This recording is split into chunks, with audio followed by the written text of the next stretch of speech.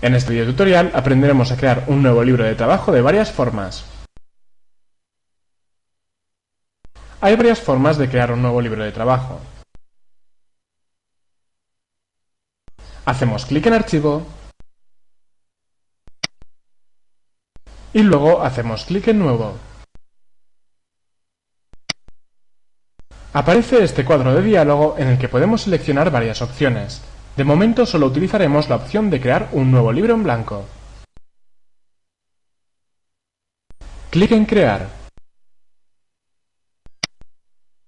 Aquí aparece el nombre del nuevo libro de trabajo. Veamos otra manera de crear un nuevo libro de trabajo. Como esta opción la usamos mucho, podemos añadirla a la barra de acceso rápido.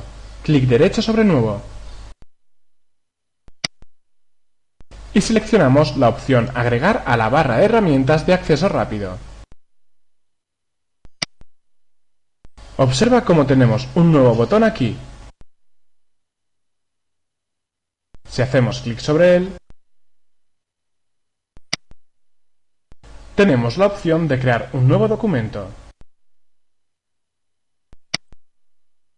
Observamos una vez más cómo aparece el nombre de nuestro nuevo libro de trabajo. Hemos aprendido dos maneras de crear un nuevo libro de trabajo.